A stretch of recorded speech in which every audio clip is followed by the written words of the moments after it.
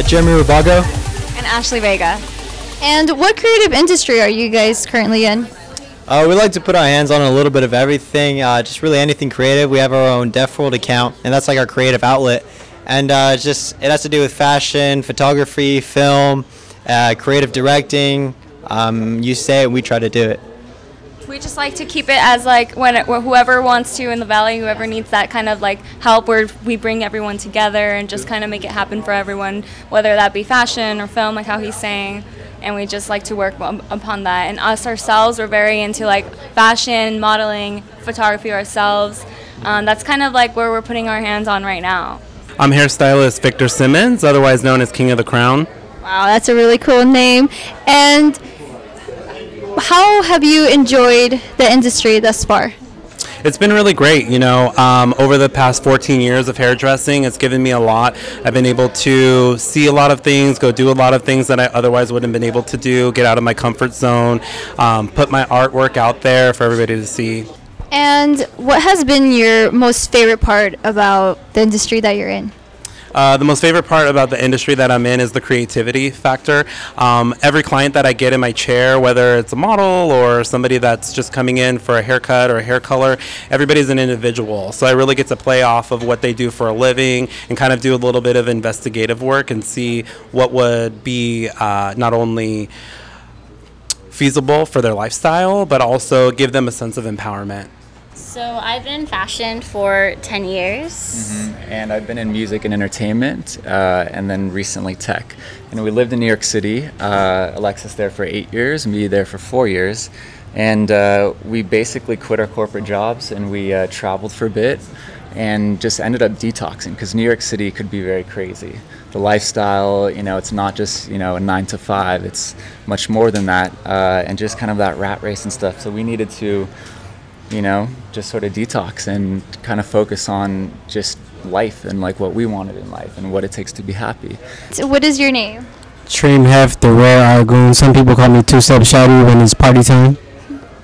And what creative industry are you currently in? I am in the fine arts and fashion merchandising, fashion design, and uh, I guess curating. Yeah, all those.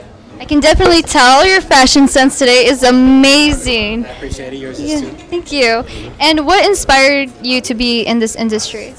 Uh, I feel like originally, like people always told me that I had swag, like my whole life, you know, and I always liked fashion. I went to school to Arizona State and majored in fashion merchandising, and then once I realized that, you know, I had enough confidence to like do it, then I was full fledged and I dropped out of school and I just started pursuing it full fledged.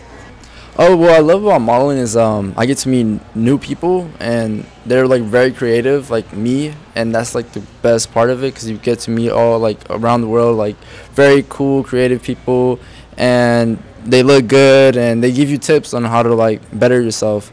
So we're all in the same thing, and it just feels awesome to meet them. Yeah, other than the fact that meeting new people, I think it's cool traveling and also also connecting with people who have the same interests as you, mm-hmm. and they also like build connections, build. I don't know. It's, it's really cool meeting new people. That's I think that's the big thing, right? Yeah. Yeah. And what has been the most exciting thing about this experience for you? Most exciting thing is working with different photographers, meeting different people, um, collaborating with not only photographers, makeup artists, um, you know, uh, hair or hair uh, hair and makeup designers. I mean, just being able to meet different people along the way is, is beautiful. So that's what I enjoy the most is just making uh, new friends, friendships along the way with what I'm trying to create. And what is your name? My name is Johnny, Johnny Galvin. and what creative industry are you currently in? So right now I'm sort of floating in between a few different industries. As far as um, photography goes, I'm doing a lot of commercial work, and I'm also doing a lot of fine art work. Um, working um, or in the process of working on a few different shows. Um, some in the Bay Area, some in uh, Sydney, and some in New York. And what has been the most exciting part about this industry for you so far? I don't know. I just feel like you can do whatever you want with it. You can take it in different directions. You can sort of play with it, find out what you like and what you don't like. There's enough space and there's enough room to do a little bit of everything. And uh, on the one hand, I like making work that people have to think about, and then on the other hand, I like getting paid so I can do commercial work and do the all the other stuff. So there's a little bit of everything, um, and I like being able to have my hands in both of those spaces, and I don't know, just do whatever I want. What creative industry are you currently in? Uh, digital marketing, copywriting. And how have you enjoyed this experience within the industry you're in? I love it. So this industry is kind of right on par with kind of who I am as a person. I can get up when I want, which is usually early in the morning. I can get on my computer. I can be very creative whenever I want. I'm not stressed from a nine to five or doing this, and I can really like let my creative side flow. But as far as like my technical, professional side as well.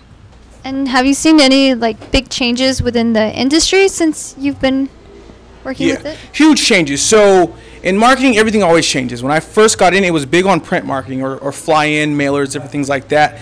Then email marketing was a huge thing. Everybody was on email. But now, honestly, the biggest place is Instagram marketing, but more specifically, Instagram direct messaging. It's kind of a hidden piece in, in marketing that most businesses aren't using because you can actually connect directly to your consumer or whoever's interested in your product. I DJ. I provide sounds. Um, getting into production right now for uh, commercials, uh, Adult Swim. They do really good. So if they do good, I do good. Uh, but nonetheless, uh, what I'm here for today is uh, live music. And what has been the best part about your job? I think the best. No, no, no, no. I know the best part about my job is uh, longevity with uh, good people that I meet. Uh, sometimes you, you you know it's smoke and mirrors, but uh, I've I've withheld a lot of good relationships within uh, good humans uh, that I still get to partake with. So uh, it's the people I meet. It's the people I meet. My name is George Rubalcava, and my stage name I go by Kivero Music. I'm a DJ and producer from here from Coachella Valley. And how long have you been a producer for?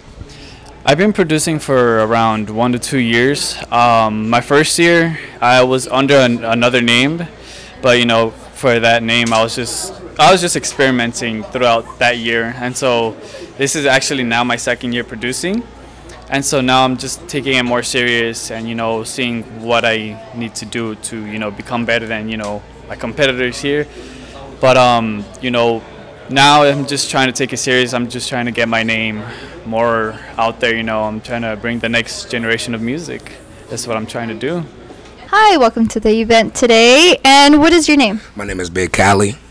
And what creative industry are you currently into? Man, creative industry. Well, DJing. I have a podcast, co-host. Um, I'm a life coach, soon to be author. no message. I do a lot of things, mostly DJing on my podcast, Argoon Radio, and I do that with Treem and um, Coach Kelly Kill. Yeah. And how has this experience been for you? Well, it's been good actually, man. Um, this is something I've never seen. I'm glad it's in the desert. It was like a whole new oasis walking in here, especially walking through. Cause outside I didn't know, and then you walked in, it was like a whole new world in here. It was like a freaking movie studio. So it looked beautiful. I'm, I'm excited, man, and I, I can't wait to see the progression of the spot too. Definitely. So definitely excited for what's going on in the desert, man.